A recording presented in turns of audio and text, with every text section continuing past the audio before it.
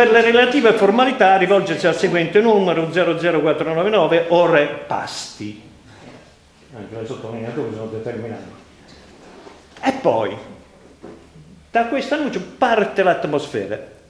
Si incomincia a sentire questa voce narrante che è il rumors, il sussurrio del paese.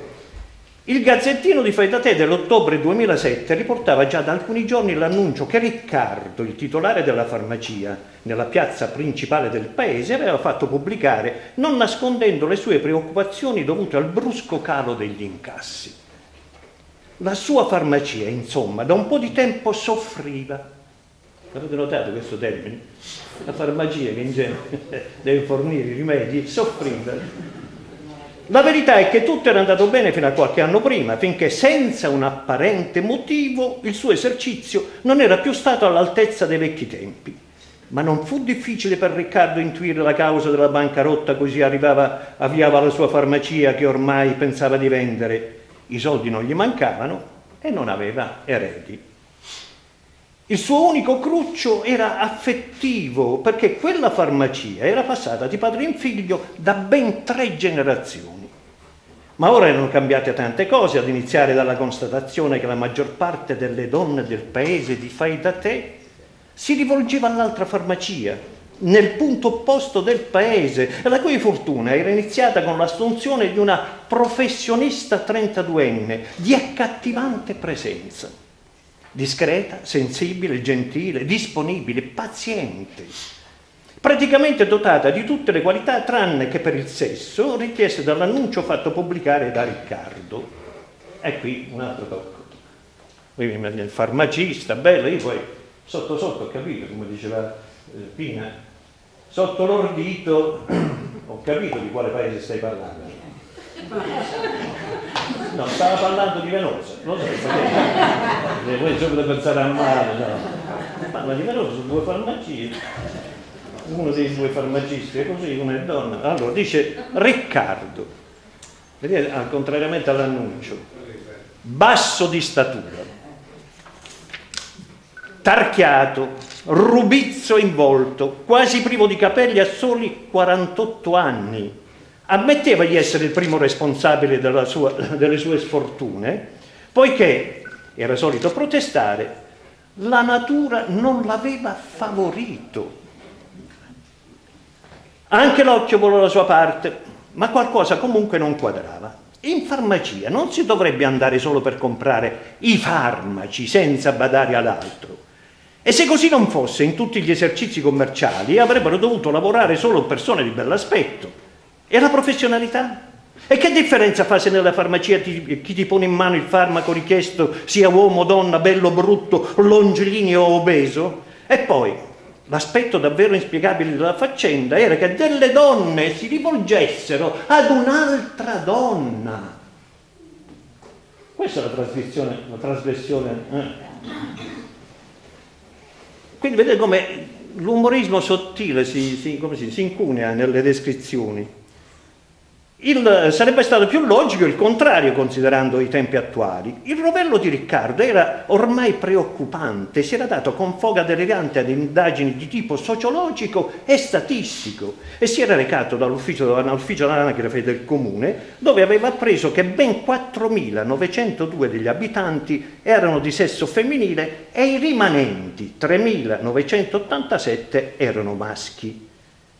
Perciò gli ritornava in mente sempre la stessa osservazione, cioè ma che cosa provassero tutte quelle donne a rivolgersi ad una sia pur bella farmacista? È vero che per quello che riguarda strettamente il sesso era in auge una sorta di rivoluzione, ma si poteva mai pensare che i costumi sessuali fossero cambiati a tal punto che le donne preferissero quelle del loro stesso sesso?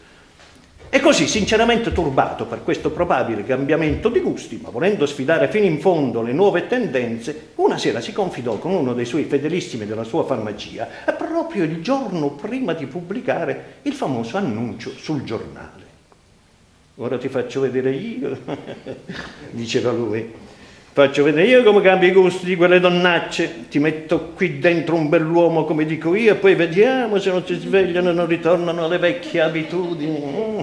D'altronde Un altro esempio rafforzava questa sua convinzione facendogli ben sperare. Sembrava che anche la parrocchia di, eh, eh, sì, fosse frequentata da un, non meno gente del solito, a differenza dell'altra parrocchia dove era appena giunto l'avvenente parroco e a frotte giovani donne e vecchie perpetue si erano recate proprio lì.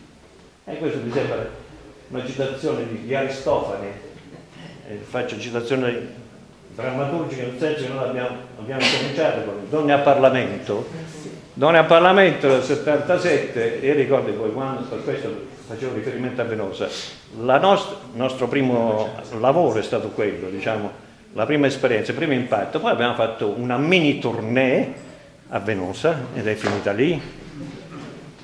E facevamo una prevendita perché essendo degli illustri sconosciuti andavamo in giro per le strade del paese vendendo i biglietti e quindi annunciavano, dice, ma che, di cosa si tratta? Dice, no, donne al Parlamento. E dopodiché qualcuno dice, ma perché siete radicali? Questa è la conoscenza. Allora, donne al Parlamento, in cui anche lì c'era una rivolta femminile, le donne non contente del, del, del, dire, della politica maschile, a un certo punto si travestono da uomini, eh, conquistano l'assemblea, fanno votare una legge che a loro parere era democratica, ma era una legge di tipo sessuale, per cui bisognava dare giustizia a tutte quante le donne. Tutti avevano diritto agli stessi piaceri sessuali, con precedenza assoluta delle donne vecchie e di quelle brutte. E quindi anche qua c'è qualcosa di simile. Ma diciamo, questo Rovello lo, lo, lo, lo, tormenta perché pure nella parrocchia accadeva la stessa cosa. E poi lui dice, ma continuava Riccardo, ma la Chiesa è come una farmacia. Qui si legano solitamente persone bisognose di medicinali e di altri articoli sanitari, mentre in Chiesa si reca chi ha bisogno magari di un conforto religioso o di, una, di ascoltare una messa. Chi vuole comprare il formaggio si rivolge altrove. Riccardo nutriva una vera e propria indignazione verso gli apostati. E come si poteva anteporre alla salvezza dell'anima a un volgare appagamento estetico? Cioè, per essere più chiari, se tutti andassero in chiesa ad ammirare il parroco, che sarà pure di bella presenza, eh, non ci sarebbe più religione. Ecco. Quindi va avanti con queste lucubrazioni fin quando poi trova la soluzione pubblica. Io accelero perché capisco che poi ci sarà qualche altro intervento, ma mi piace eh, leggervi un pochettino le confessioni del, del sindaco ad Alessio.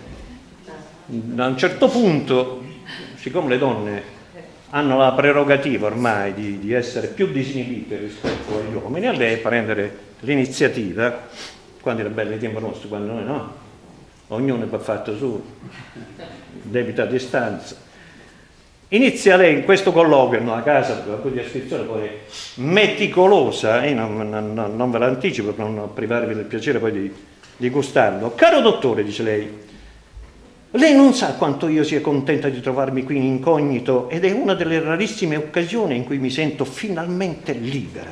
A fai da te non posso muovermi senza dare spiegazioni, soprattutto da quando sono entrata in politica.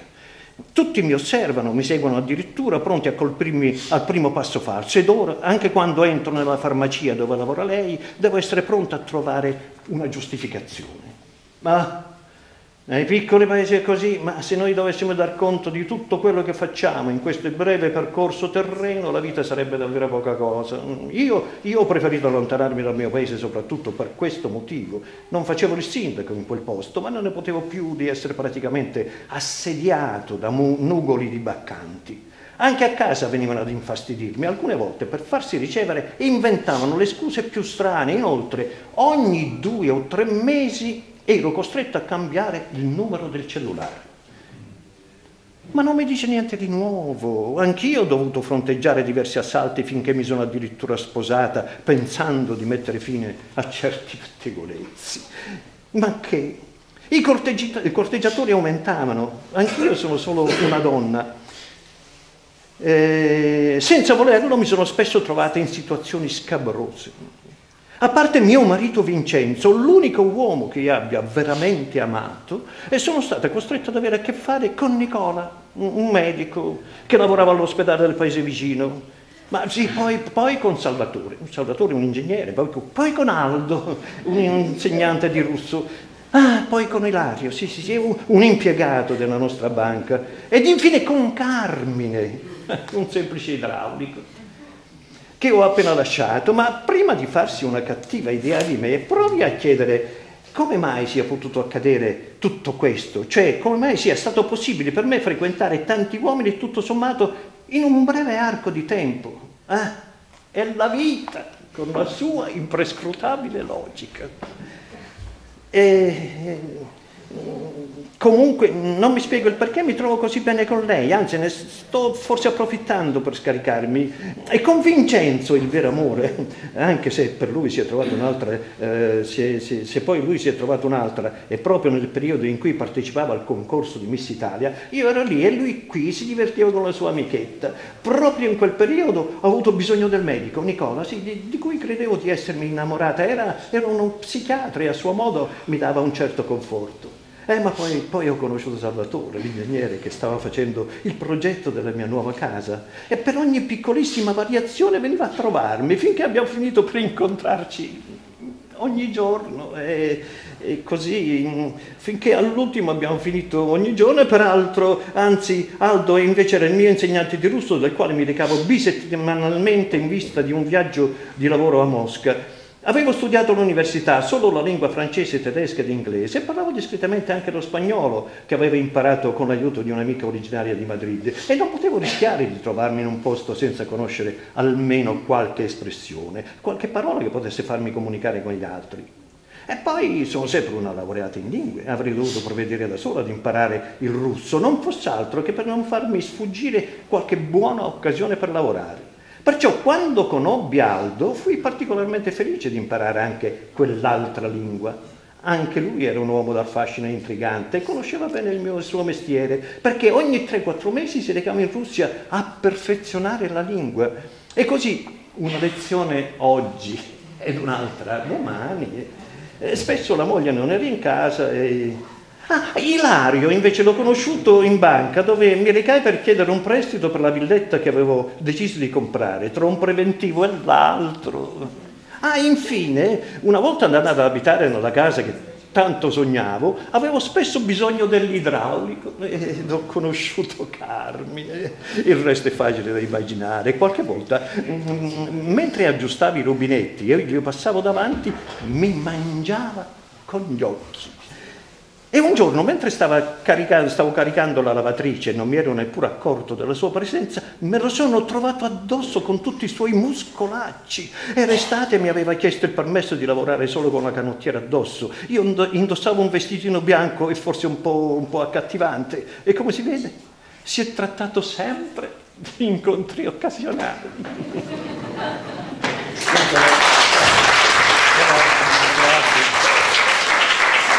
Ciao questo era lo spirito e volevo concludere, se mi consente un, un po' fuori da, dalle linee.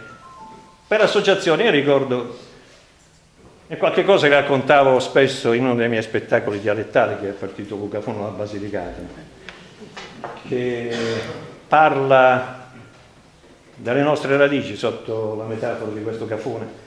E quindi eh, immaginavo, partendo dal, dall'origine, chi mai avesse potuto creare questo cafone, no? E allora c'era, ci sono molti reperti orali che circolano nella nostra zona, io come dire, saccheggiato un po' intorno e ho immaginato che il Padre Eterno il settimo giorno, non è un riferimento riferente adesso a Benigni, ma il settimo giorno invece di riposarsi il Padre Eterno ha visto questa terra così bella, così lussureggiante, così verde e ha dovuto fare il primo straordinario della storia per venire a creare un cafone. Quindi l'ha impastato come la prima volta, poi c'è tutta la vicissitudine esistenziale, alla fine emigra anche in America e muore.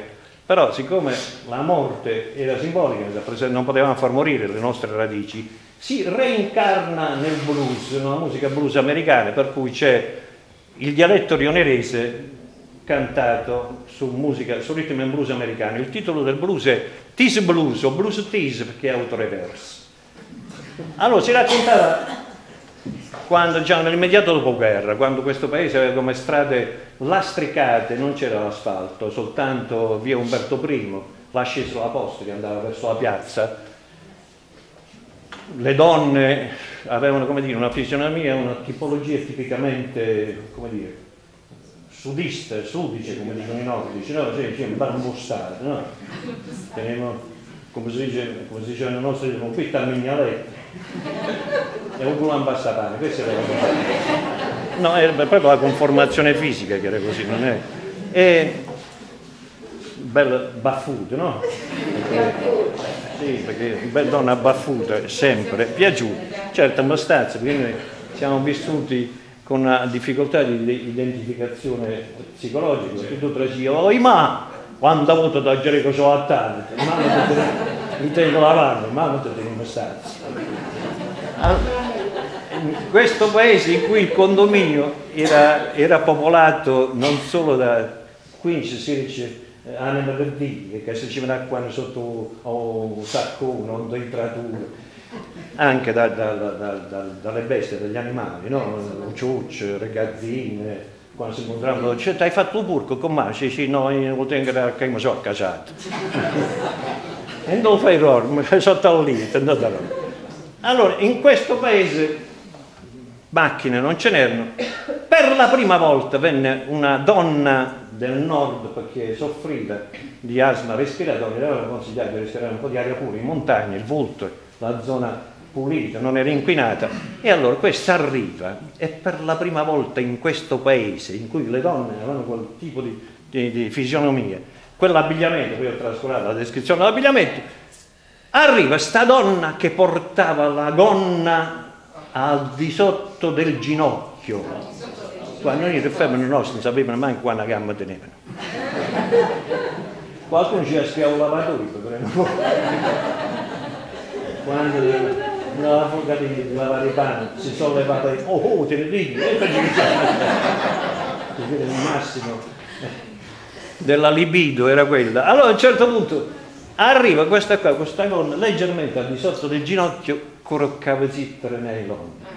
Mai vista sto paese, cavazittere fatte ai fieri, di pure la vergine che quando Mattia o quel cavazzetto o la maglia con l'anno ci grattano i betti di muro perché c'è come, sta? Eh, non c'è mai, è una cosa terribile. E allora, poi, non solo, ma poi teneva quel righino nero che partiva dal tallone fin ai fessi, fino alla del paese. No? Maronna mia, come volesse finendo, volendo finisse.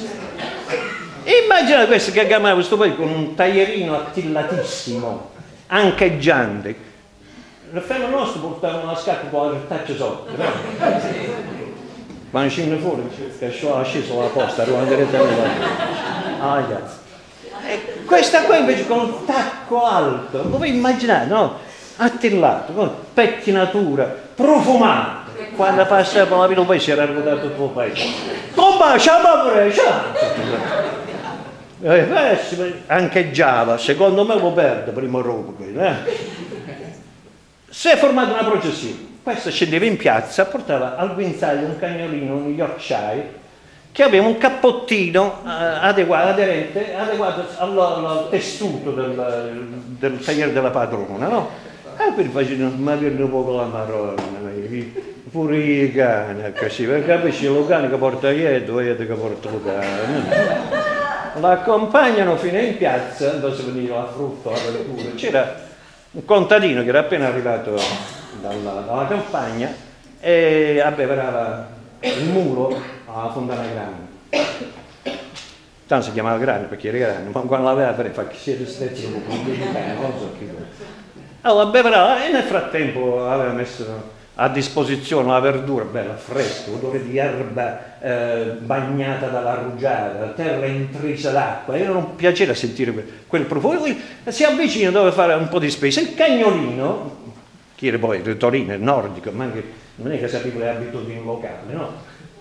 E ha incominciato a girare intorno a questo cristiano, hanno usato l'erba, a un certo punto ha alzato la zampina e ha innaffiato lo, o cristiano, che teneva una stazza salutare, ho capito pozzuto la parrocchia a mano, come la guardate? Pozzo città, oddio, oddio, fuffi! Puffi! Ma, ma cosa hai fatto? Ma sai che non si fanno queste cose qui? Ehi, chiedi scusa signore, ma perché? Parla la bocca.